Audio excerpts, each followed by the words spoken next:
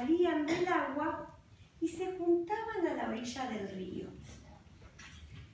A esa hora, los cangrejos se ponían a bailar y podían bailar de a dos, de a tres, podía muchos, pero había una condición. Para poder bailar tenían que haber contado un secreto. Pero había un cangrejo, el más chiquitito de la ciudad de Arena, que no se animaba a contar su secreto. Entonces no podía bailar y no se podía meter en la rueda. Los miraba cómo bailaban y se quedaba ahí quietito, con la cabeza agacha, apoyado en una piedra. Y los amigos cangrejos lo llamaban y le decían, Robertito, vení a la rueda con nosotros.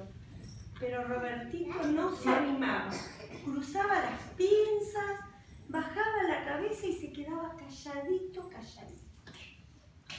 Ya cuando el baile se terminaba, se iba a su casa, a su cueva con sus hermanos y cenaba la ensaladita de algas que hacían los papás cangrejos.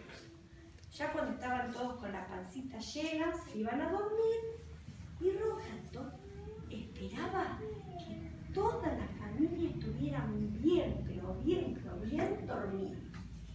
Y cuando estaban todos dormidos, manito abajo de la almohada y sacaba algo que había encontrado en el fondo del río. Era algo hermosísimo pero muy extraño. A él le encantaba y no dejaba de mirarlo. Decía, debe ser la piedra del castillo del rey de los